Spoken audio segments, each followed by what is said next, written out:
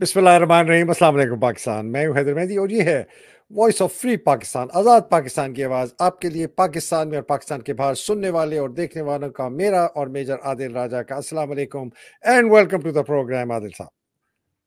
वालेकुम अस्सलाम, सर। तमाम देखने वाले, सुनने वालों को अजीज़ान मन आपको, आपके भाई आदिल राजा का सलाम पहुँचे। वालेकुम अस्सलाम वरहमतुल्लाहि वबरकातुहू। उसी दुआ से शुरू करते हैं। मेरे रब, हमारा ए हमारे रब, हमारा सीना कुशादा कर दे, हमारा काम आसान बना दे, हमारी ज़बान की गिरा खोल दे ताकि वो हमारी बात समझ सके। देखने वाले, सुनने वाले, तारिक अज़ीज़ कहता था देखती आँखें, सुनते कानों को सलाम। बड़ा ज़बरदस्त आदमी था। बहुत शुक्रिया आपका आने का जो लाइव स्ट्रीम पर आते हैं जो रिकॉर्डेड देखते हैं उनका भी बहुत शुक्रिया। हमारे पेट्रन्स का बहुत शुक्रिया। ये बहुत ज़रूरी है कि आप हमें दुआएँ भी देते हैं कमेंट्स भी करते हैं क्रिटिसिज्म भी करते हैं। बड़े गौर से मैं तो सारे पढ़ता हूँ श्योर आदिल ही पढ़ता है। आदिल तो पता नहीं कुछ जिन है मेरा ख्याल है। जितनी एनर्जी आदिल में मैंने दस आदमियों में नहीं देखी। माशाल्लाह माशाल्लाह इनको अपने हिफ्जमान में रखे सेहत है ये जिहाद जारी करने की तोफ़ी अता फरमाए, हम सबको जो जो करें। आदिल आज के जो एक इंटरेस्टिंग मौजूद तो बहुत है कि पीटीआई के अंदर बड़ी जंग शुरू हो गई है। हम तो चार महीने से निशानदेही कर रहे थे कि ये अंदर एक घुसपैठिया आया है, जिसका काम ही ये है कि फसाद और जंग फैलाओ, पार्टी को तोड़ो तितर बितर करो, डिसयूनाइट करो। ख्याल करें ख्याल करें, लोगों ने नहीं सुना अब जो है सब कहते हैं जी आप सही कहते थे। एनीवे anyway, एक उसकी तो हमने बात करनी करनी है और हमने ये भी बात करनी है कि हमें एक आम पब्लिक में जो लोग हैं मैं आप हैं हमें इतनी जस्तजू करनी पड़, इतनी मेहनत करनी पड़ती है कि पता करने के लिए कि इमरान साहब के जो केसेस हैं या इनके पार्टी के खिलाफ जो केसेस हैं, उनका स्टेटस क्या है? कभी इस एक बंदे की मुझको, मुझे पढ़ना पड़ता है, कभी दूसरे का, कभी इस यूट्यूबर की कहा कि उसके पास। मतलब मुझे को पंद्रह, दस, पंद्रह जगह से जाके पता करना पड़ता है यार केसेस का। इस पे बात करनी है कि पीटीआई कोई ऐसी, कोई क्यों नहीं कार्रवाई करती? है नहीं मैं इसमें डिटेल जाता।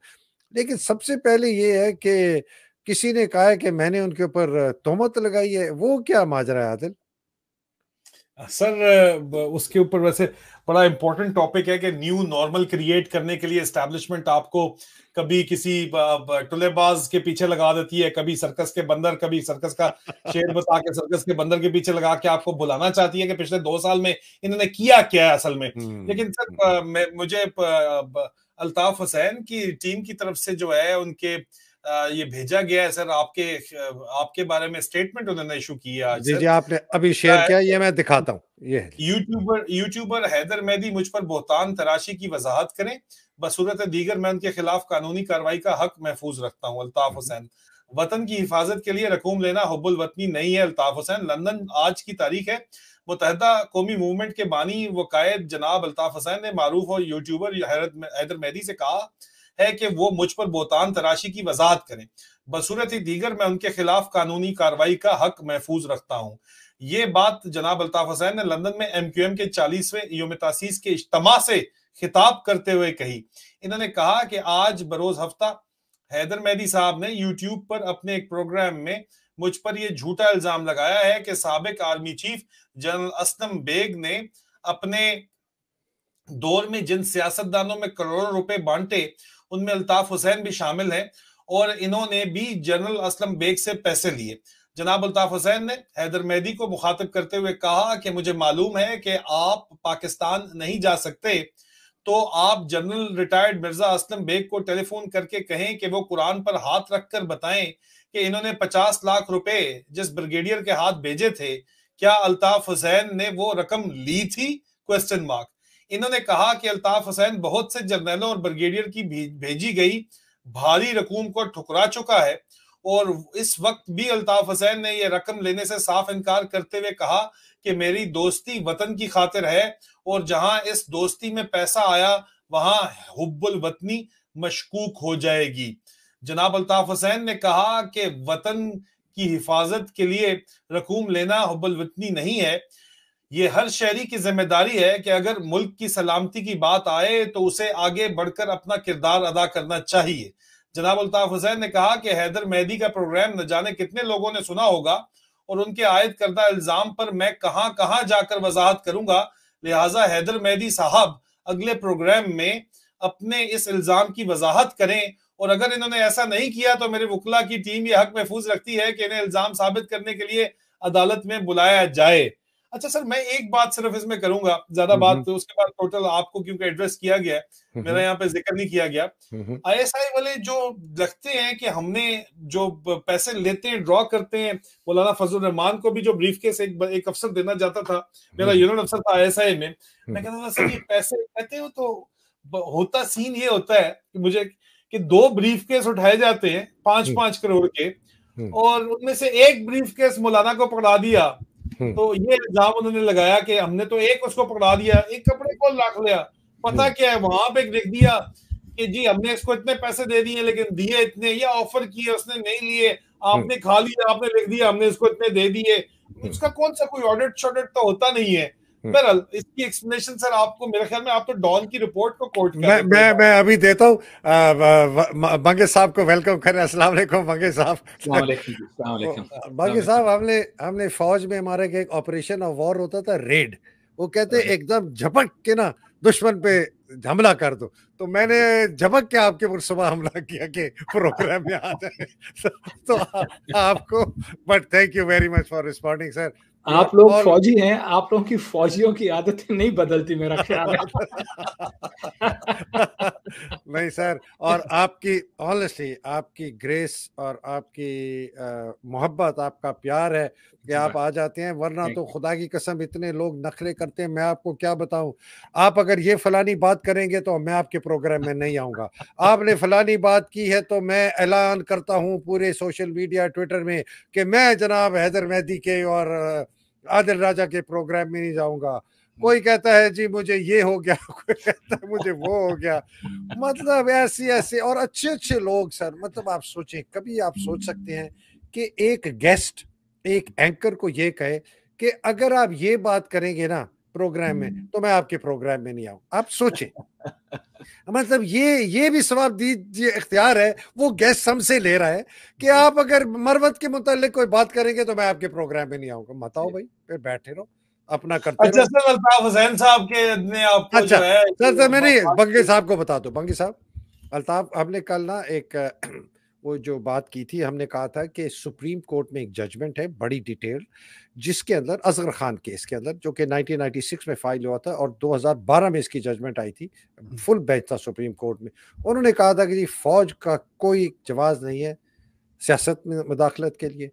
फौज के अंदर कोई गैर कानूनी अहकाम अगर अमल करता है, वो उतना ही उसका मुजरिम है, जितना देने वाला मुजरिम है। और बहुत डिटेल 141 पेज की रिपोर्ट थी, इसके अंदर उन्होंने आईएसआई को भी आड़े हाथों लिया, फौज को लिया, सबको लिया कि ये जो है, ये कानून के वायलेट अगर करते हैं, अगर कोई इनके ऊपर कार्रवाई नहीं करता इनका इदारा तो सुप्रीम कोर्ट को ये मैंडेट है कि वो इनके खिलाफ कार्रवाई करे। तो मैंने वो इसलिए बताया था कि आजकल के उसके अंदर एक इंटरेस्टिंग चीज़ ये थी, असगर खान केस का बेसिकली ये था कि मिर्ज़ा असलम बेग ने थ्रू असद दुरानी एंड ये मेहरान का जो वो था यूनस हबीब, उसके थ्रू पैसे दिए थे सियासी पॉलिटिशियंस को कि बेनज़ीर की हुकूमत को गिराया जाए, जिसके अंदर नवाज़ शरीफ का भी नाम था सबका, उसके अंदर अल्ताफ़ हुसैन का नाम। अब मैंने क्या किया? हमने उसकी अल्ताफ़ हुसैन की स्टेटमेंट आई है कि जी मैं वजाहत करूँ, मैं बिल्कुल वजाहत करता हूँ। और उनका हक है कि मेरे से ये ये पूछने के लिए कि जी मैंने तोहमत लगाई या मैंने खबर दी।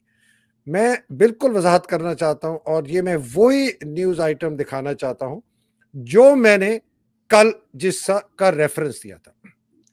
ये मैं अंग्रेज़ी में पहले पढ़ता हूँ। उनके एम क्यू एम वाले जो लंदन में अंग्रेज़ी समझते हैं या जो उर्दू वाले ये फिर पता चल जाए कि मैंने तोहमत लगाई है या ये खबर है? ये पढ़ता हूँ, जी। In a stated statement recorded before an investigating officer in Karachi Yunus Habib ये उस वक्त मेहरान बैंक के सदर थे, इसलिए इसको मेहरान गेट कहा जाता है। Disclose that he had paid rupees hundred and forty million to general Beg चौदह करोड़ रुपया मैंने जनरल बेग को दिया। यूनस हबीब कहता है, हल्फिया बयान इन्वेस्टिगेटिंग ऑफिसर के सामने। Rupees seventy million to former chief minister Jam Sadiq Ali सात करोड़ जाम सादिक अली साहब को दिए rupees twenty million to Altaf Hussain of M Q M ये यूनस हबीब ने हल्फिया बयान दिया है इन्वेस्टिगेशन ऑफिसर को, जिसने मेरान गेट के स्कैंडल को इन्वेस्टिगेट किया। और फिर आगे वो नाम लेते हैं पाँच rupees fifty million to Javed Hashmi पाँच करोड़ जावेद हाशमी को दिए एडवोकेट यूसुफ मेमन के थ्रू पंद्रह crore rupees hundred fifty million to Jam Sadiq Ali फिर से दिए उन्नीस सौ बयानवे में, दस lakh rupees one million to Liaquat Jatoi, एक करोड़ बीस लाख इम्तियाज़ शेख को, पचास lakh Afaq M Q M Haqiqi को जो इनका दुश्मन है अल्ताफ़ साहब का दस लाख दिए Sindh chief minister through Imtiaz Shaikh चौदह लाख दिए फेडरल मिनिस्टर अजमल खान, ये हमारे गैलियन होते थे। पैंतीस लाख दिए नवाज़ शरीफ को तो उन्नीस सौ तिरानवे में। पच्चीस लाख फिर दिए नवाज़ शरीफ को सत्तर उन्नीस सौ नब्बे में। पा फाइव मिलियन पचास लाख दिए जनाब मैंने जान माशूक को, इस तरह इस तरह करके। ये है जी खबर।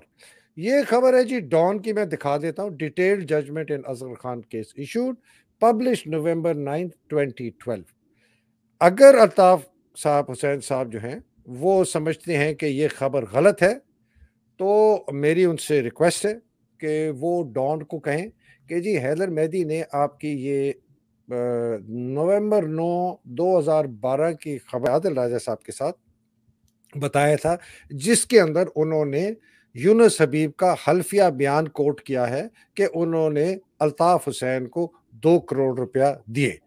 अल्ताफ़ हुसैन साहब, आप सौ बिस्मिल्ला, आप सू करें डॉन को, आप उनको हतक इज़्ज़त का दावा भेजें।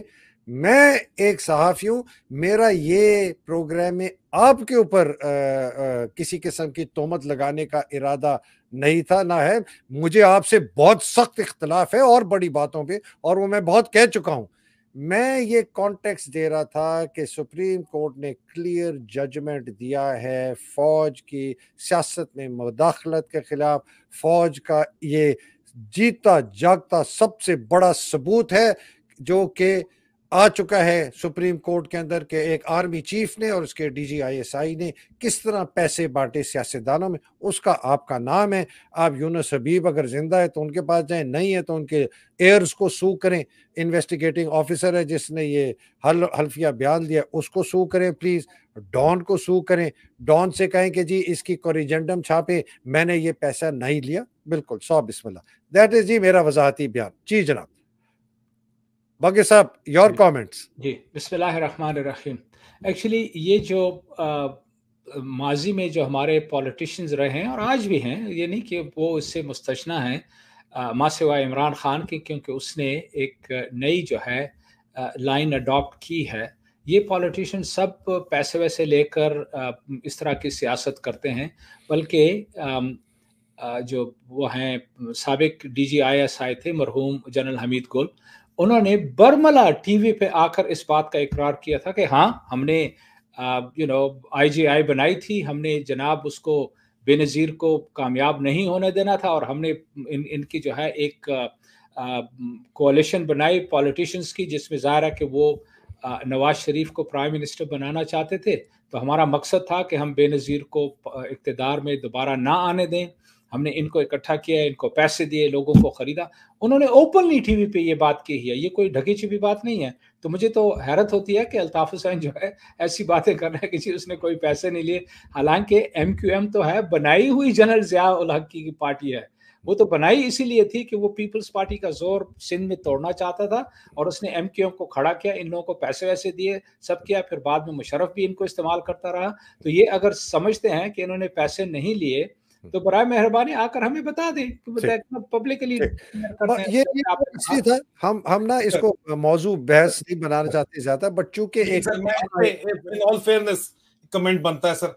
एमकेएम बनाने के जो मामार थे मिलिट्री इंटेलिजेंस और आईएसआई के अफसरान क्योंकि मेरे बॉसेस रह चुके थे बर रास्त और अपने सर्विस के आखिर में करियर में मेरे बॉस थे और मेरे साथ उनकी दोस्ती यारी इस तरह से थी कि मेरे मामू के वो कोर्समेट थे तो मैं उनसे मिलता शुलता भी था। नो नेम्स बगेट साहब का नाम नहीं लेता। मैंने उनसे पूछा, वो कराची में इन्होंने एम जब बनी थी उस वक्त तो मैंने कहा कि, सर, ये आपने बनाई, यही बातें मैंने की कि पीपल पार्टी को तोड़ने के लिए आपने बनाई। कहते यार, वो एस्पेक्ट तो था ही था, लेकिन जो मेन इशू था वो ये था कि जो ये उर्दू स्पीकिंग जो वहाँ पे फैमिलीज़ रहती हैं उनको उनकी उनकी वो लोग जो उन, उनकी औरतों को उनकी बच्चियों को जिसका दिल करता था आके उठा उठा के ले जाता था एक और उनका उनको जानबूझ के जब जो है उनको दबाया जाता था बाकी लसानी तासुब का निशाना उनको वाजे तौर के ऊपर बनाया जा रहा था।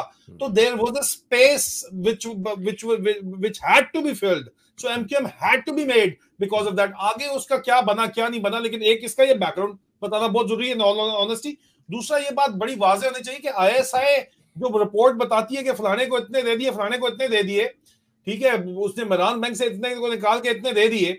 अब देने जो आईएसआई का अफसर जाता है ब्रीफ केस वो दे के आता है, कितने दे के आता है कितने जेब में डाल देता है या कितने अपने बॉसेस में, आपस में सेक्टर कमांड फंड के नाम के ऊपर बांट देता है या अगला इनकार कर देता है तो वो भी डाल देता है। उसका तो कोई अथॉरिटी कोई रिटर्न सिग्नेचर तो नहीं है, कोई रसीद तो नहीं है चाहे वो अल्ताफ हो या मौलाना फजल रहमान हो या जो भी हो, किसी ने साइन करके थोड़ी दिया रसीद के लो जी रिसीविंग मिल गई है। तो बैंक थोड़ी है, ये तो बंद ब्रीफ केस पकड़ाए जाते हैं, अगला ना ले तो अगला कह रहा है, मैंने नहीं लिए। तो नहीं लिए होंगे तो नहीं अपने खाते में डाल देंगे ये जो चकले चला के जो पाकिस्तान के ऊपर हुकूमत कर रही है, जो आईएसआई और एमआई। तो आपके ख्याल के अंदर ये ये काम नहीं कर सकते इनके नाम पे पैसे लेके खुद नहीं खा सकते? एवरीथिंग इज़ पॉसिबल सर ये हो सकता है। जी जी बिल, बिल्कुल सही है और और इस इसको मैं सॉर्ट ऑफ़ कंक्लूड करके अल्ताफ हुसैन साहब से फिर रिक्वेस्ट करता हूँ। अल्ताफ हुसैन साहब प्लीज़ डॉन से रबता करें। उनसे कहें आपकी ये 2012 की खबर हैदर मेहदी ने अपने प्रोग्राम में की है। उसका कॉन्टेक्स्ट कुछ और था लेकिन उसके अंदर खबर में है कि आपने दो करोड़ लिए। और आप जैसे कह रहे हैं आपने नहीं लिए आप कह दें कि जी मैंने नहीं लिए फलाने ब्रिगेडियर का नाम ले दें फलाना कर दें हत के इज़्ज़त का आप एक सू कर दें डॉन को। आपके पास डॉन का कॉरेस्पॉन्डेंट है लंदन में थ्रू दैट आप उसको कर दें। और आपको पता है कि हमारे चले वो फिर मैं किसी और वक्त में निशाना सीधा करें ना सर जी निशाना निशाना सीधा निशाना सीधा। आदिल ये जो आ, हमारी ये पोजीशन है ना ये पोजीशन हमने ली हुई है मैंने और आपने मंगे साहब ने हमने कोई एक महीने से ली हुई है कि हमने पाँच नुकाती एजेंडा है तीन चार पाँच को भूल जाएँ पहला और दूसरा रखें कि कैद से आज़ादी इमरान खान की और तमाम वो और कैदी उनकी बीवी और तमाम जो हैं जो गैर कानूनी तौर पर कैद हैं और लोगों का चोरी हुआ हुआ मैंडेट जो है वो वापस मिले। ये हमारा निशाना है। बाकी चीज़ें छोड़ दें कि फ़ौज बैरकों में जाए, एहतसाब हो और जो है असलाहत हो कौमी, उसको फ़िलहाल छोड़ दें। दो निकाती एजेंडा है, ठीक है जी? फोकस है दो निकाती agenda. Release of Imran Khan, return of the stolen mandate. सवाल आप दोनों से ये है, हमें पीटीआई बताए कि मैंडेट की चोरी वापस करने के लिए वो क्या रोज़ कार्रवाई करते हैं? हमें ये बताएँ कि जितने केसेस इमरान खान के खिलाफ हैं, उनकी अहलिया के खिलाफ हैं, बाकी जो लोग कैद में हैं, जिनके खिलाफ केसेस गैर कानूनी गैर आनी तौर पर कैद में हैं, उन केसेस की क्या पैरवी हो रही है, क्या डेवलपमेंट हो रही है? हमें ये बताया जाए तो हमें पता चले कि यार ये जो गाड़ी है, ये कुछ आगे चल रही है। या कि एक दूसरे पर बोतान आप, जो है, गोला बारूद कर तो ये this is a question for both of you Adil may I start with doctor Mangesh please please sir please ji doctor Mangesh साहब देखिए बात यह है मैं दोबारा जो है ना ये रमज़ान के महीने की तरफ़ और कुरान की तरफ़ आता हूँ। हम्म। हम लोग चंद दिन पहले सूरा यूसुफ पढ़ रहे थे। ये कुरान की एक बहुत ही प्यारी सूरा है। और मेरी गुजारिश है अपने नाजरीन और सामीन से कि वो ज़रूर इस सूरत को पढ़ें, मायने के साथ। सिर्फ़ ये नहीं कि बस सरसरी आपने उठाकर पढ़ पढ़ लिया इसको। और ये कुरान की वाहिद सूरा है, लंबी सूरा जिसमें सिर्फ़ एक ही मौजू है, और वो है यूसुफ अलैहिस्सलाम की ज़िंदगी का वाक़ अच्छा वो वाक़ क्या था? मैं मुख्तसरा बता देता हूँ कि यूसुफ अलैहिस्सलाम और उनका भाई जो था बिन यमीन वो एक माँ से थे, और उनके ग्यारह भाई जो थे, वो दूसरी माँ से थे। यकूब अलैहिस्सलाम की बहुत सी बीवियाँ थीं। तो याकूब अलैहिस्सलाम जो थे, यूसुफ अलैहिस्सलाम से बहुत प्यार करते थे। तो उसके भाई जो है, वो जेलस हुए। उन्होंने कहा कि चलो यूँ करते हैं कि यूसुफ अलैहिस्सलाम का पत्ता काट देते हैं इसको या मरवा देते हैं, गायब कर देते हैं तो फिर वालिद की मोहब्बत जो है, हमें भी ट्रांसफ़र हो जाएगी। तो उन्होंने ये बहाना बनाया, यूसुफ अलैहिस्सलाम को अपने साथ ले गए भेड़ बकरियाँ चराने के लिए। उसको वो कत्ल करना चाहते थे, लेकिन एक भाई ने कहा, कत्ल मत करो, इसको कुएँ में फेंक देते हैं। तो मतलब कि और वापस आकर उन्होंने बाप से ये उजर पेश किया कि जी वो यूसुफ इधर उधर खेल रहा था, हम अलग कहीं थे तो वो एक भेड़ी आया, उनको चीर फाड़ के खा गया, और ये उसके जो है ना, खून आलूद कपड़े हैं, ये हम लेके आए। ज़ाहिर है, यकूब को इस बात पर यकीन नहीं आया, और ये कि यूसुफ अलैहिस्सलाम को एक काफले ने उठाया, उनको वो जाकर मिस्र में, मिस्र का जो हुक्मरान था, अज़ीज़ था, उसके हाथों बेच दिया एज अ गुलाम। अब यूसुफ अलैहिस्सलाम बहुत ही हंसमुख इंसान थे। तो उस रूलर की जो बीवी है, उसके उस पर यूसुफ अलैहिस्सलाम के ऊपर गलत का, किस्म का जो है ना, उन, उनका वो ख्याल पड़ा कि जी इनके साथ वो बदफेली करें, लेकिन यूसुफ अलैहिस्सलाम तो अल्लाह के नेक बंदे थे, उसने इनकार किया। लेकिन चूँकि वो गुलाम था, उस बेचारे को जेल में डाल दिया। पता नहीं कितने सालों वो जेलों जेलों में पड़ा रहा। अल्टीमेटली जब उसकी हकीकत आशिकारा हुई कि उसका ये कसूर नहीं था तो उसको जेल से निकाल कर फिर उस अज़ीज़ ने यूसुफ अलैहिस्सलाम को समझ लीजिए कि एज प्राइम मिनिस्टर या फाइनेंस मिनिस्टर वहाँ पर मुकर किया कि वो इंसाफ के तौर पर उस माहौल में, उस माशरे में अपना काम करते रहे। मैंने ये किस्सा इसलिए बयान किया कि अगर आप इस किस्से को लें और देखें कि आजकल इमरान खान के साथ ये लोग क्या कर रहे हैं। देखिए, अगर आप इमरान खान को इस तरह देखें कि जैसे यूसुफ अलैहिस्सलाम बहुत हंसमुख इंसान थे तो इमरान खान जो है अवाम में बहुत पॉपुलर इंसान है। दूसरी बात यह है कि यूसुफ अलैहिस्सलाम भी ऑनेस्ट थे, उस पर उस वक्त जो इल्ज़ाम लगाया था, बेबुनियाद था।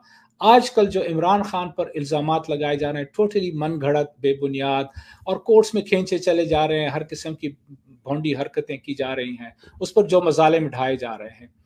और मुझे, मैं कल आप आप हजरात और वकास के साथ वो जो ट्वेंटी थर्ड मार्च की परेड की बात कर रहे थे तो मुझे कुरान की ये आयत याद आ गई। बड़ी ही अल्लाह ताला ने हमें जो है ना ये सुरा अल इसरा में है, सुरा बल इसराइल, जिसमें अल्लाह ताला कहता है और ये सबको सोचने की ज़रूरत है। अल्लाह ताला कहता है, वला तम शिफिल अर्द मराहन इन का लन तखरकुल अर्दा वलन तबलगल जबाला तूला कुल जाल का काना सही इन द रब का मकरूहा। ये दो आयात हैं सैंतीस और अठतीस। मैं इसके मायने बता देता हूँ। अल्लाह ताला कहता है कि ज़मीन पर अकड़ कर मत चलो। तकबर से मत चलो अल्लाह की ज़मीन पर। लन इन का लन तखरकल अर्दा न तुम ज़मीन को फाड़ सकते हो। हम्म। वलन तब लोकल जिबाला तूला न तुम इतने बुलंद हो कि तुम पहाड़ों से ऊपर हो गए हो।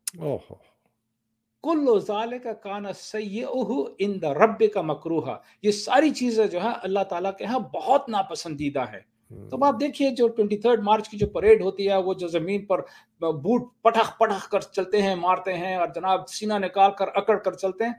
अल्लाह ताला कहता है कि ये चीज़ें मुझे पसंद नहीं है ये तकबर की निशानी है। हम्म। ना तो तुम ज़मीन को फाड़ सकते हो और ना तुम इतने ऊँचे हो कि पहाड़ों से ऊपर हो गए और ये सारी चीज़ें अल्लाह को सख्त नापसंदीदा हैं। न सिर्फ़ हम्म। फौज ये तो हमारे जो दो टके के जो वो पॉलिटिशियंस होते हैं जो कोई चीफ मिनिस्टर बनता है बनती है तो वो समझते हैं कि नौजबिल्ला वो वही बस सिर्फ़ अल्लाह की मखलूक है और तो कोई चीज़ है ही नहीं इसी हम्म। तरह जो यू नो प्राइम मिनिस्टर हो प्रेसिडेंट हो जिस तरीके से अकड़ से इनकी गर्दन में अकड़ आ जाती है हम्म, हम्म। मुझे मालूम है कि वो उनमें से अक्सरियत तो रोज़े भी नहीं रखते हैं अल्लाह ताला उनको हिदायत दे कुरान पढ़ना कुरान पर अमल करना तो बहुत दूर की बात है। अगर वो वाकई कुरान को पढ़ते और उस पर उसको समझते उस पर अमल करते तो उनकी ये हरकतें नहीं होती जो आज आजकल वो कर क्योंकि वो तो समझते हैं कि जनाब कोई कोई पूछ कुछ होगी नहीं कोई अकाउंटेबिलिटी तो है नहीं कभी। तो बस जो कुछ है सारी इसी दुनिया में है। तो इसलिए कम से कम हमारे नाजरीन और सामीन जो हैं इस पर तवज्जो दें प्लीज़ बहुत शुक्रिया सर। बड़े ज़बरदस्त आपने बात की। आदिल ये मार्च की परेड और जो बंगे साहब ने बात की कि लगता तो ऐसे था किसी ने भेजा है मुझे कि आधी दुनिया पर इन्होंने कब्जा कर लिया और कच्चे के डाकुओं को तो ये कब्जा कब, पकड़ नहीं सकते। तो आदिल वाकई यार। अच्छा वो भाई तो एक मुझे किसी ने वीडियो देखी है कि वो डाकू चल रहे हैं और आगे से ना पुलिस की वो आ गई एपीसी तो एक दूसरे को सलाम करते हैं और डाकू कहते हैं हल्ला वाला हल्ला चल चल चल चले जाओ कोई नहीं हम तुम पर फायर नहीं करते। पुलिस वाले भी उनको सलाम करते हुए ना वो अपनी एपीसी डाकुओं के साथ रेंजर वाले उन्हीं के ऊपर बैठ के उनके मोटरसाइकिलों के ऊपर जा रहे हैं अगले तेईस मार्च की परेड के अंदर जो है अगर इसी तरह हालात चलते रहे तो कच्चे के डाकुओं का दस्ता भी सलामी के चबूतरे से गुजरेगा। और मेरा यार बंगश सर आप नहीं मेरा यार कल बंगश में कर रहा था ट्रांसमिशन वहाँ पे जो हेड कर रहा था पूरी टीम को सज्जे खब्बे फ्लैंक करके। तो वो फिर कहेगा कि और अब सलामी के चबूतरे के सामने से गुजर रहा है कच्चे के डाकुओं का अजीम शान दस्ता सदर जरदारी को सलामी देते हुए। लेकिन सर बात यह है कि आपको बंदर तमाशे में लगा के कभी अफरीदी साहब के साथ जी हमारे ये जराए कहते हैं कि हर हफ़्ते मुलाकात करता है कैंप ऑफ़िस के अंदर आर्मी चीफ क्यों करता है मुलाकात? भी उसने रखा गया टुल्लेबाज शायद शायद अफरीदी से। शायद अफरीदी से जी। अब इससे पहले मरवत को अच्छा शायद अफरीदी के ऊपर जो है, जब उसको निशाने के ऊपर लिया गया सोशल मीडिया की तरफ़ से तो शेर अफजल मरवत बचाने आया, अली मोहम्मद खान बचाने आया और बचाने भी शेर अफजल मरवत ने तो नेक्स्ट स्टेप ले लिया, उसने अपनी पीटीआई पीटीआई की सोशल मीडिया टीम को लताड़ दिया तो उसके ऊपर हमने कल डिस्कशन कर ली, फिर उनको आगे से लताड़ा गया। पीटीआई वाले कह रहे हैं कि हम इसको देख रहे हैं, अभी बड़ी सख्ती से इसको हम निबड़े हैं, भाई आप कैसे सख्ती से निबड़े हैं? वो इमरान खान की एंट्री एग्जिट तो वो कंट्रोल कर रहा है, उससे मुलाकातें तो वो कंट्रोल कर रहा है। उमैर न्याजी और ये मरवत कंट्रोल कर रहा है। टिकटें, टिकटों के लिए पैसे ये लोग उठा रहे हैं, बेतहाशा। दे रहे हैं नहीं दे रहे, ये एक बात है। उसके ऊपर आपको बात कर नहीं सकते हैं, ठीक है? डरा के उसने वो ए टू जी सबको रखा हुआ है इवन इमरान खान की फैमिली को डरा के रखा हुआ है। तो आप क्या उसको किस तरह कंट्रोल करेंगे? लेकिन ये सिर्फ़ सामने वो चीज़ें डिस्ट्रैक्शन है। स्टैब्लिशमेंट तो खुश है कि यार ये आपस में लड़ते रहे और सारी खबरें इसी पे लगी रहे और इसी, इन्हीं को क्रिटिक करते रहे। निशाना सीधा ना रहे था कि निशाना सीधा क्यों ना रहे कि देखिए सर, चाहते ये हैं कि जो दो साल इन्होंने जो कुछ किया है रजीम चेंज ऑपरेशन से लेके अरशद शरीफ की शहादत से, ज़िले शाह की शहादत तक जो औरतों, बच्चों माओ, बहनों के जो चादरों के ऊपर हाथ डाला है, वहाँ से लेके जो तीस हज़ार लोगों को जेलों में डाला और दस हज़ार औरतें बच्चे जेलों के अंदर डाले हैं। चालीस नौजवानों को शहीद किया है इन लोगों ने। इमरान खान को अंदर ढका हुआ है और ताकि बयानिया कंट्रोल करें। पाकिस्तान की छह फ़ीसद तरक्की करते हुए मुल्क की तबाह बर्बाद करके रख दिया है। उसको आप भूल जाए। पुराने फॉर्मूले के तहत, ठीक है? आपको जो भी इस मिलिट्री स्टैब्लिशमेंट की बात करता है सीधा सीधा करता है, इन जर्नलों की औकात बताता है, वो गद्दार करार दिया, दे दिया जाता है, चाहे वो अल्ताफ हुसैन ही क्यों ना हो, ठीक है? चाहे वो कोई और बंदे हो, इन्होंने बड़े सक्सेसफुली हर किसी को उसी फॉर्मूले के तहत, जिस के तहत जी अल्ताफ हुसैन को कल गद्दार करार दिया था, आज हैदर मेहदी भी गद्दार है, आदिल राजा भी गद्दार है, आज जो भी बोलेगा, ज़फ़र बंदज भी गद्दार है मगे साहब बचे हैं। वक्त आने वाला है इनका इनका टाइम आने वाला है। नहीं वो हमारे साथ आके बैठते बैठते हैं जावेद बरकी साहब तो उनको भी जो है दो मिलियन पाउंड का उनके ऊपर डाल दिया वो सजाद बरकी सजाद बरकी। सज्जाद बरकी साहब के खाते में डाल दिया गया आतिफ खान को भी रगड़ दिया गया और मेजर आपको फॉरेन इंटेलिजेंस एजेंसीज का एजेंट भी बना दिया गया जो वो जो कल को ये ये मुझे और आपको अल्ताफ हुसैन बना के खामोश कराना चाहते हैं क्योंकि फॉर्मूला उसके ऊपर अल्ताफ हुसैन के ऊपर कामयाब हो गया था लेकिन हमारी बारी में हो नहीं रहा क्योंकि हम तो इनके अपने अंदर से निकल के आए हुए हम तो इनका टेड टेड हम तो वो दाई हैं जिन्होंने इनका टेड देखा हुआ है। असल तकलीफ़ ये है। हमें तो अंदर से पता और हमें तो अभी भी अंदर से एक एक खबर इनके बेस्ट लेट प्लान हम एक्सपोज करते जा रहे हैं। तो इनको समझ नहीं आ रही कि हम जाएँ तो किधर जाएँ? हम किस किस तरफ़ जाएँ हम जाएँ? तो सर बात यह है कि निशाना सीधा रखने की ज़रूरत है। इस कौम को ना असल में sir short term memory loss है इनका। इनको मेमोरी बार बार इनको जो है ना इनको बार बार टीका लगाने की ज़रूरत है वो झटका जो इलेक्ट्रिक शॉक देने की ज़रूरत है इनको बार बार बताने की ज़रूरत है कि वो तुम्हारे साथ दो साल इन जर्नैलों ने किया क्या बाजवे ने और अब आसिम मुनीर डेरी हसनाबाद के गटर के ढक्कन ने और इनके जो जनरल फैज अमीर ने जनरल नदीम मंजुम ने हम्म। इनके जो जर्नैल हैं फैसल नसीर ने इसके सेक्टर कमांडर्स ने इनके हम्म। जो नीचे पूरे के पूरे ओसी एम आई और आईएसआई ने चकले की तरह चला रहे हैं पाकिस्तान को ये please don't mind these word लोग कहते हैं बड़ी स्ट्रॉन्ग ग्राफिक आपके लफ्ज होते हैं। असल बात तो यही है अंग्रेज़ी में बोल देता हूँ ब्रॉथल्स की तरह जो है आप चला रहे हो आप ब्रॉथल्स भी चला रहे हो और वहाँ पे आप वीडियोस बना रहे हो वीडियोस के ऊपर पूरा पाकिस्तान आप चला रहे हो और जो। आपकी बात नहीं मानता उसको आप चुप के ले जाते हो उसकी आप अच्छा लोगों की सर माओ को बहनों को बेटियों को शरिया अफरीदी क्यों रो रहा था? आंसुओं से रो रहा था कि मेरी बेटी को डाले में डाल दिया। पीको डाले में डाल दिया हम्म। तो उनको पहली दफ़ा पाकिस्तान में डाला जा रहा है सिर्फ़ और सिर्फ़ प्रेशराइज करने के लिए क्या इसलिए हमने पाकिस्तान बनाया था सर क्या इस हम्म। पाकिस्तान के लिए मैं पाकिस्तान जिंदाबाद का नारा लगा सकता हूँ आप मुझे हम्म। बताएँ सर अच्छा बिल्कुल आज आज सही है आपको याद कराया जाए कि ये ड्रामा बंदर तमाशा चला के असल पिक्चर से आपको नज़र हटाई जा रही है। असल हम्म। निशाना क्या है? इमरान खान की रिहाई सियासी कैदियों की रिहाई मैंडेट चोरी की वापसी ठीक है जी? आर्मी वापस बैरक के अंदर जाए एहतसाब हो और नेशनल रिफॉर्म्स हो। ये पाँच पॉइंट का एजेंडा है। ये असल निशाना है। इसके ऊपर वापस आए। अच्छा आदिल इसी पे वापस आ रहा हूँ। तो फिर अब हमने सवाल लोग कहते हैं ना जी फोकस रखे। तो हमने किसकी तरफ़ देखना है? हमने अवाम की तरफ़ देखना है। अवाम से खास तौर पर हमने पीटीआई की तरफ़ देखना है। उनको वोट मिला। आठ फरवरी को लोगों ने जिस तरीके से निकल के इमरान खान और पीटीआई को वोट दिया तो हम उसकी पार्टी की तरफ़ देखेंगे, हम उसकी क्यादत की तरफ़ देखेंगे कि भाई प्लीज़ आप हमें बताएँ कि आप लोगों ने इमरान साहब के केसेस की पैरवी की अपडेट स्टेटस क्या है, जो मैंने पहला सवाल किया था।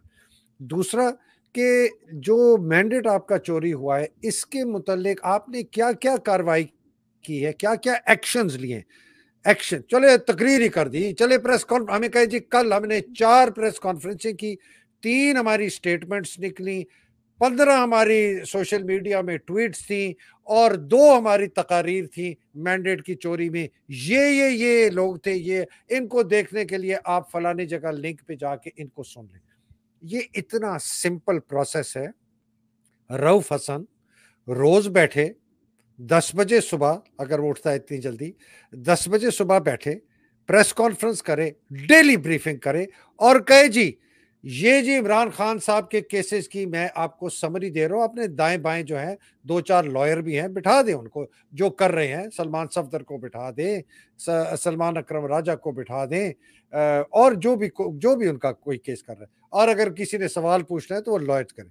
और दूसरा हिस्सा मैंडेट चोरी करने पर जी हमारी पिछले 24 घंटे में ये कार्रवाई इस, ये ये तो कर सकते हैं ना, अगर कुछ नहीं कर सकते, सिर्फ़ ये बयान करके तो लोगों को, मुझे आपको, कौम को बता दे कि कौम को पता चले कि ये पार्टी क्या कर रही है अपने कायद के लिए। वो कैद में है, वो मुसीबतें झेल रहा है, उसकी बीवी कैद में है, हज़ारों और खातन बच्चे बूढ़े कैद में हैं, वो क्या हो रहा है उनके केसेस के मुतालिक? और ये जो रोज हमारा हम हक वापस लेंगे वो बताएँ आपने किया क्या है पिछले चौबीस घंटे? ये रोज की भी ये आई मीन दिस इज़ मैं एक अपना व्यू भी दे रहा हूँ but I want an answer to this कि ये कम अज कम इतना नहीं कर सकते। बागे साहब? जी। बेसिकली जो बुनियादी बात है, जिसका मैंने पहले भी इसी आपके प्रोग्राम में अर्ज़ किया था कि दरअसल ये लोग जो हैं, अपने कंफर्ट जोन में रह रहे हैं। ये मुझे नहीं लगता कि ये जो काफ़ी सारे लोग जो लीडरशिप रोल में हैं इन्होंने कोई एक्चुअल पॉलिटिकल स्ट्रगल की हो। यानी जो एक्चुअल स्ट्रीट स्ट्रगल होती है ना, ये वो उस किस्म के लोग नहीं हैं। ये एक comfortable middle upper middle class के लोग हैं। हालाँकि इमरान खान भी उसी कैटेगरी में आता है, लेकिन उनकी सोच बहुत मुख्तलिफ़ है इनसे। वो इनसे बहुत आगे है। और इसी वजह से अवाम में पीटीआई की अगर मकबूलियत है तो उसी वजह से है कि वो इमरान खान में एक ऐसा लीडर देखते हैं जो कि सिंसियर है, जो उनकी खातिर जिदोजहद कर रहा है, उन्हीं की खातिर कुर्बानियाँ दे रहा है। ये सब के सामने वाज है, लेकिन अनफॉर्चुनेटली ये जो बाकी लीडरशिप है, इमरान खान, वो कहता है कि जनाब ये ये लोग जो हैं निकल कर आए, सड़कों पर निकल कर आए। ये जो बाहर पीटीआई की जो लीडरशिप है, सड़कों पर आने की बजाय वो बहाने ढूंढते हैं कि जी, फलानी प्रॉब्लम है हमारे लिए, फलानी प्रॉब्लम है। भाई, प्रॉब्लम्स के बगैर तो आप कुछ भी मतलब कि प्रॉब्लम्स का तो आपने मुकाबला करना है। ये नहीं कि जी, अगर जी, हमारे लिए उन्होंने रिकॉर्ड कर दिया तो हम क्या कर सकते हैं? हम जाकर घर पे आराम से बैठ गए हैं। इमरान खान तो बेचारा जेल में पड़ा हुआ है। पाँच अगस्त 2023 से वो जेल में पड़ा हुआ है। आप हिसाब लगा लें, कितने महीने हो गए उसको जेल में पड़े तकरीबन बस अब वो यानी चंद महीनों में पूरा साल उस बेचारे का पूरा हो जाएगा। वो जिस हालत में उस जेल में रह रहा है छोटी सी कोठड़ी में एट बाई टेन के सेल में वो रह रहा है। यानी वो इस इस इस किस्म की वो मुसीबतें झील रहा है और ये लोग जो है, बाहर घूम फिर रहे हैं, अपनी पार्टियाँ कर रहे हैं, अपनी जनाब इफ्तार की पार्टियाँ हो रही हैं गप्पे शप्पे ड्राइंग रूम्स में बैठ कर कर रहे हैं और बताया कि ना एक्चुअल जो स्ट्रगल है, उसमें ये लोग मुलविस नहीं है। तो इसे साफ़ ज़ाहिर होता है कि ये अपने कंफर्ट जोन से निकलना नहीं चाहते। तो इसके लिए तो वाद ज़रिया यह है कि अवाम खुद जो है, अब ये फैसला करें, क्योंकि ये अवाम के फ्यूचर का मामला है। इन लोगों के हाथों वो किसी खैर की तो ना करे, क्योंकि ये लोग कुछ करने वाले नहीं है उनके लिए। सर, बिल्कुल मैं आदिल आपकी तरफ़ आने से पहले ये दिखाना चाहता हूँ add to add to the context जो आप अभी बात करेंगे कि ये पार्टी जो है, ये क्या कर रही है इमरान खान के रिलीज़ और मैंडेट के लिए। ये इन्होंने कल इनकी जो थी पीटीआई का एक बहुत बड़ी गैदरिंग थी तेईस मार्च के लिए। उसमें गौर ने भी बड़ी तकरीर की कि वेरीफाइबल होना चाहिए पीटीआई का जो सेनेट के लिए वोटिंग है कि पता चले हॉर्स ट्रेडिंग ना हुई। लेकिन जो मेरे, मैंने जब पूरी पढ़ी ना, जो मेरी नज़र में खबर जो उठ के आई ना ओहो हो Asad Qaiser made it clear बड़ी धुआंधार तकरीर की। Don't push us against the wall हमें दीवार के साथ ना लगाएँ। And don't drag us to the point of no return और जो ऐसी जगह ना करें कि फिर हम वापसी का रास्ता ना हो आपके लिए। He demanded that the Chief Justice of Pakistan form a judicial commission to probe the May 9 riots. के हम चीफ जस्टिस से कहते हैं कि 9 मई का जो है, उसके ऊपर जुडिशियल कमीशन बनाएँ and take decision on merit और हक और सच का फैसला करें। पनिश द एक्चुअल कंप्लेट जो असल मुजरिम है, उनको सजा दें। एडिंग अब ये देखे क्या कहता है ये आदमी। इससे पता चलता है कि किस तरीके की तकरीब कारी पीटीआई के अंदर इनके सीनियर लीडर कर रहे असद कह सकते से। कहते हैं adding that a fair investigation were carried out it would be establish that Mohsin Naqvi and IG Punjab were behind the entire episode मतलब आसिम मुनीर को खुली छुट्टी, फौज को खुली छुट्टी दे दी। और कहता है कि अगर फैसला किया जाए तो आपको नज़र आएगा कि ये कार्रवाई मुझसे नकवी ने और आईजी पंजाब ने कराई है बाकी कोई नहीं। फौज बिल्कुल ठीक थी आसिम मुनीर तो कह रहा था ये क्या हो गया? आदिल सोच यार। सर मैं जाते जाते आपको मैंने कहा था कमिटमेंट है कहीं पहुँचना है अफ्तारी के लिए तो मैं इजाज़त लेने से पहले फाइनल कमेंट करना चाहता हूँ फिर मैं इजाज़त लूँगा इसके बाद। सर अल मैं फिर स्टूडियो छोड़ के चला जाऊँगा। सर देखें मैं तो इंफॉर्मेशन के ऊपर बात करता हूँ। मैं तो बात करता हूँ जो फैक्ट्स ग्राउंड के ऊपर हैं इनके टिड्डों के अंदर क्या चल रहा है इनके दिमागों में क्या चल रहा है इनके मुँह से शाम को रमज़ान वाले दिन भी चुस्कियों नशे विस्की की चुस्की के बाद इनके मुँह से क्या निकल रहा है? मोहसिन नकवी की आप बात करते हैं तो मिलने जाता है कैंप ऑफ़िस में तो उसके बाद और किसी को मिलने की इजाज़त नहीं होती। हम्म। जर्नैलों को सर एक एक चीज़ से वो खुश है और एक चीज़ से वो खौफजदा है। ठीक है सर? खुश किस बात से ये कंफर्म अब खबर है। हम्म। खुश किस बात से है पहले या खौफजदा किस बात से आप बता दें पहले खुश बताऊँ किस बात से है खौफजदा किस बात से? जी जी। बता आपकी बात। खुश सर वो इस बात से हैं कि मरवत जैसे सर्कस के बंदर जो उन्होंने छोड़े हुए ब्रिगेडियर फैसल मरवत की क्या रिटायरमेंट के बाद भी कैरियर अगली जो कॉन्ट्रैक्ट है एसआई के साथ लंबा जाने वाला अभी। हम्म। क्योंकि वो खुश है कि ये मरवत जैसे अली मोहम्मद टाइप जो लोग दरमियान में जो घुस बैठिए लोग घुसे हुए हैं मिक्स बयान शान दे रहे हैं ठीक है? कंफ्यूज कर दें कंफ्यूज करें लोग। आपस में लड़ रहे हैं। पीटीआई सोशल मीडिया भी को तनकीद मरवत कर रहा है मरवत को सोशल मीडिया वाले सुना रहे हैं आपस में इनकी लड़ाई लगी हुई है तमाशा लगा हुआ है बहुत खुश है वो। मरवत की कारकर्दगी बड़ी बेहतरीन है।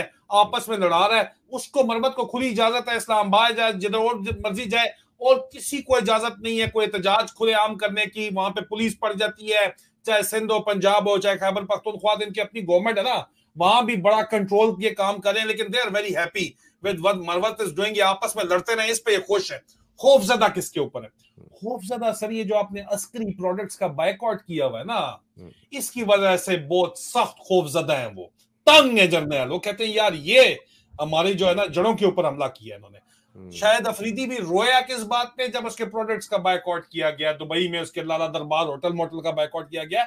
जर्नैल तो रो रहे तंग है इस वक्त खौफजदा है कि अगर ये बाइकआउट जो डीएचए कैंटों का कारोबारों का और अस्करी प्रोडक्ट्स का फौजी फाउंडेशन एडब्ल्यूपी का हुआ है ये चलता रहा तो हमारा क्या बनेगा? हमारी military might military incorporated empire का फिर क्या बनेगा? हमारी बदमाशी का क्या बनेगा?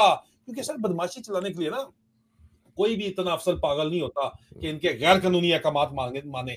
उनको ये भीख के अंदर उनको खुश करने के लिए प्लाट स्लाट देते हैं। ब्लैक फंड तो पूछते नहीं है, प्लाट प्लाट, ये, वो, इस तरह की चीज़ें देते हैं। अगर इनके कारोबारों की वैल्यू, इन प्लाटों की वैल्यू ही नीचे जाने जाएगी, जो इस वक्त नीचे जा रही है तो फिर लोग इसलिए क्यों काम करेंगे? उस मटेरियल उस उस उस चीज़ के लिए काम क्यों करेंगे? तो इसलिए खौफजदा है। इसलिए इस बाइकॉट को जारी रखें हम्म। और आपस में लड़ना छोड़ें।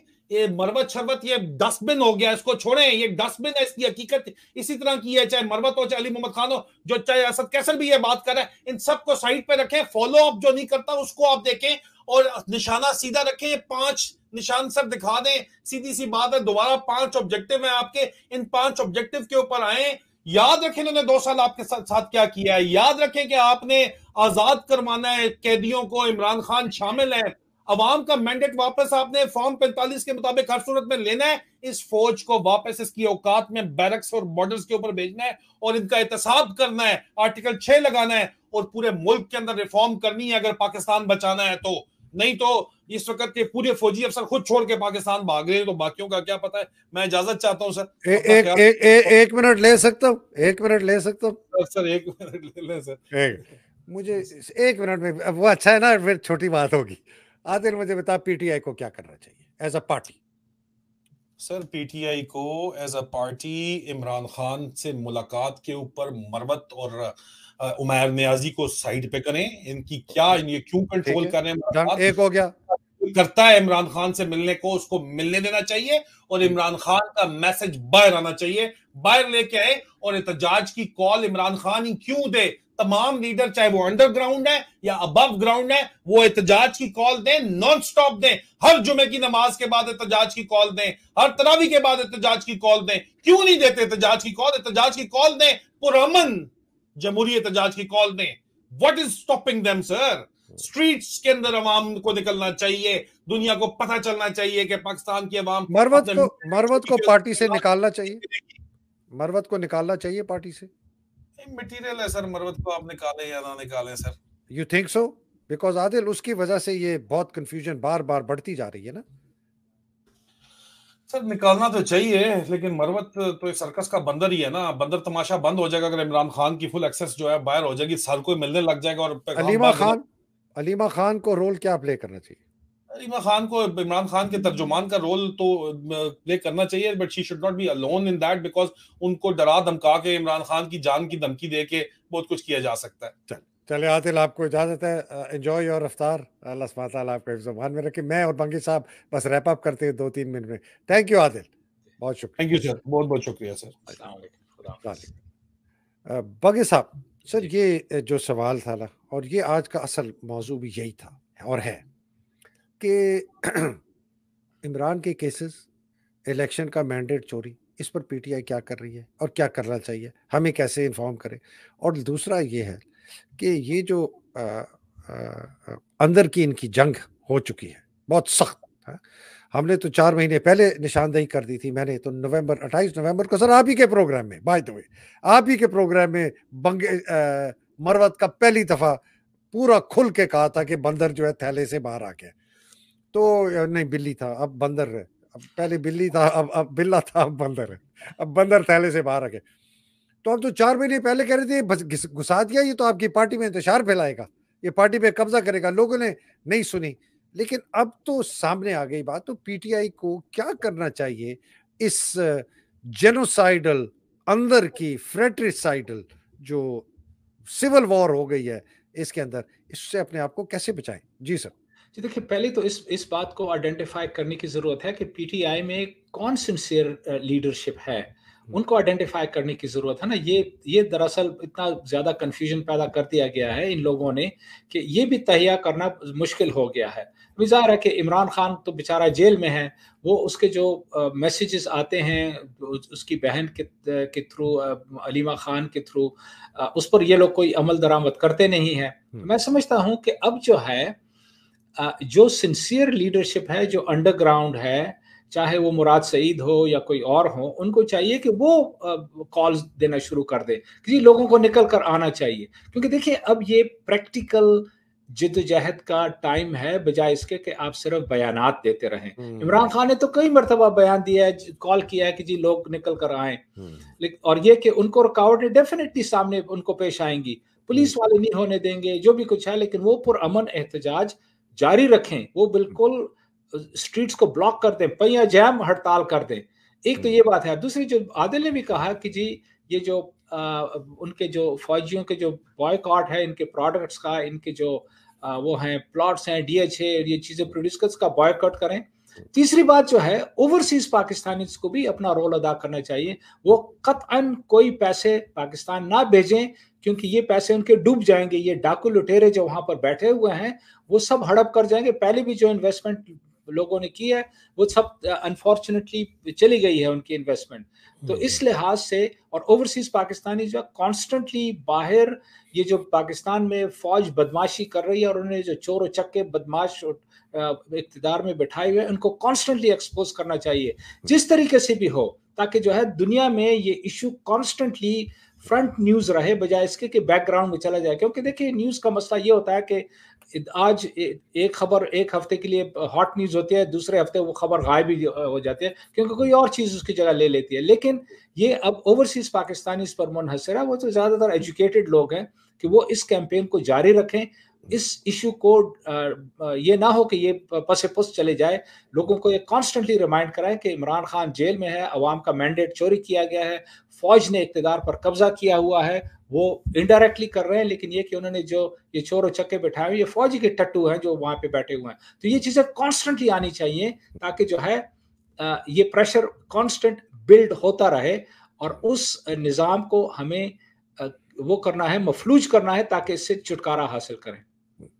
बहुत शुक्रिया, सर। प्रैक्टिकली जो स्टेप्स है आपने कहा, बहुत सही है। बॉयकॉट दूसरा मैं बार बार अर्ज़ करता हूँ बार बार अर्ज़ करता हूँ रऊफ हसन को उमर अयूब को, अगर वो कॉम्प्रोमाइज़ नहीं है कि प्लीज़ आप रोज़ बैठकर दो घंटे की डिटेल्ड प्रेस कॉन्फ्रेंस करके अपडेट किया करें लोगों को कि केसेस में क्या हो रहा है और इलेक्शन के मैंडेट के वापस लेने के लिए हमने क्या कार्रवाइयाँ की हैं कि हमें एक मुफसल एक क्लियर एक एक्यूरेट इंफॉर्मेशन हमें मिल जाए, फिर वो आप अपनी वीडियो को पोस्ट करें सोशल मीडिया पे लिंक्स बताएँ कि जी, ये फलाने बंदे की ये प्रेस कॉन्फ्रेंस देखें, ये फलाने बंदे का ये स्टेटमेंट है। ये जी हमारी तमाम ट्वीट्स हैं जो हमने किए। चले, कुछ नहीं है। बंदर का तमाशा ही हमें दिखा दे कि छलांगे हमने कितनी मारी है। मतलब बताएँ तो हमें ना, एक ऑर्गेनाइज तरीके से इतनी बड़ी पार्टी है, इतनी ज़बरदस्त टेक्नोलॉजी प्लेटफॉर्म्स आपके पास हैं। आपकी सोशल मीडिया टीम इतनी ऑर्गेनाइज है, आपके अंदर बहुत जहीन लोग हैं। एक तो ये बहुत बड़ी रिक्वेस्ट दूसरी मेरी रिक्वेस्ट है कि पार्टी को ये जो अंदर इनके ये जो फ्रेटिसाइडल वॉर शुरू हो गया ना, एक दूसरे को कत्ल करने की। इसको आपको बहुत जल्दी ख़त्म करना पड़ेगा और ये सिर्फ़ बयान से नहीं खबर होगा, ख़त्म होगा। आपको फैसला करना पड़ेगा कि शेर अफजल मरवत, असद कैसर, अली मोहम्मद ख़ान, चंदाना गुलजार जैसे लोग जेनली पार्टी के साथ हैं या ये आसिम के टाउट हैं? अगर आपने फैसला किया है कि यासिम के टाउट है तो आपको फिर फैसला करना है कि ये पार्टी के साथ रहें या ना रहें। ये आप नहीं कह सकते जी हम उनसे थोड़ा सा फ़ायदा भी हमें होता है। शंताना गुलजार बड़ा अच्छा बोलती है, बड़ी उसकी प्लीजिंग पर्सनैलिटी है, लोगों के, लोग उसकी बात सुनते हैं। लेकिन अगर शंताना गुलजार आपके ऑब्जेक्टिव्स के खिलाफ काम कर रही है, इमरान खान के ऑब्जेक्टिव्स के खिलाफ काम करे चाहे वो कस्में वादे कितने भी करे कि मेरा लीडर इमरान है, मरवत भी कहता है मेरा लीडर इमरान है, असद कैसर भी कहता है। असद कैसर तो नौ अप्रैल से एक्सपोज हो चुका है। ये तो अब अब इसका बयानिया बड़ा जोशीला हो गया। आपको फैसला करना है, पार्टी को फैसला करना है कि ये जो लोग हमने सामने हमारे आ गए हैं, जो पार्टी के अंदर फसाद फैला रहे हैं, इनको, इसको, इनसे हमें फरागत हो। तो ये पार्टी के लिए एक मेरी रिक्वेस्ट है। अलीमा खान को एक बहुत मेजर रोल करना पड़ेगा। उनके खिलाफ भी बड़ी आवाज़ें शुरू, उठनी शुरू हो गई हैं। बाय द वे पार्टी के अंदर से कि जी, इनको कुछ नहीं करना चाहिए, फलाना डर गए, खौफ हो गए। और वो आवाज़ें वो हैं जो आसिम के टाउट हैं कि यार, अगर अलीमा खान के पास कोई ऐसा इख्तियार आ गया और मैंडेट आ गया कि वो कोई स्पोक्स पर्सन बन गई, चले फैमिली स्पोक्स पर्सन ही बन गई तो ये शायद जो है हमारा काम। तो ये है सर आ, बस इस पे एंड करते हैं सर। अगर आपका कोई लास्ट कमेंट है तो वरना फिर मैं आपसे रिक्वेस्ट करता हूँ कि दुआ दुआ करें और एंड करें। जी। नहीं मैं आपसे इतफाक करता हूँ जो आपने फरमाया बिल्कुल सही है क्योंकि इस वक्त पीटीआई जो है बहुत इंतशार का शिकार है और ये बहुत तकलीफ़ दे मरहला है पीटीआई के लिए और इसको जित जितना जल्दी हो सके कंट्रोल करने की ज़रूरत है। तो मेरा ख्याल है कि हम अगर दुआ से कंक्लूड करें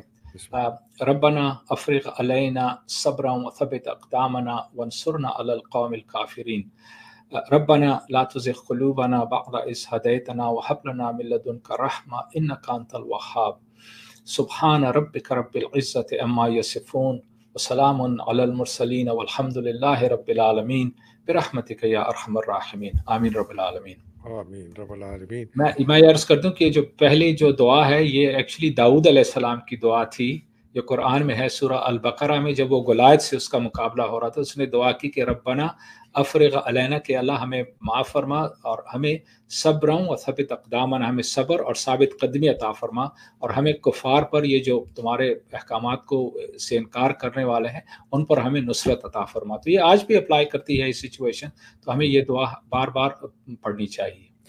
और जनाब एंड करने से पहले हानी और बशारत कजलबाज साहब, आपका बहुत बहुत शुक्रिया, बड़ी मेहरबानी। बाय द वे कजलबाज साहब, मेरी वालदा भी कजलबाज थी तो उसका भी बहुत शुक्रिया। सबके लिए दुआ, अल्लाह सुबहान सबको हिफ्जमान में रखे, पाकिस्तान को हिफ्जमान में रखे, पाकिस्तान की हकीक आज़ादी की, जंग लड़ने वालों को हिफ्जमान में रखे, पाकिस्तान में जो कैद हैं उनको हिफ्जमान में रखे और जो बेचारे शहीद हो के, उनके दर्जात बुलंद करें। पाकिस्तान जिंदाबाद, पाकिस्तान पाइंदाबाद, इलाही खुदा हाफिज़। बहुत शुक्रिया डॉक्टर साहब। Thank you.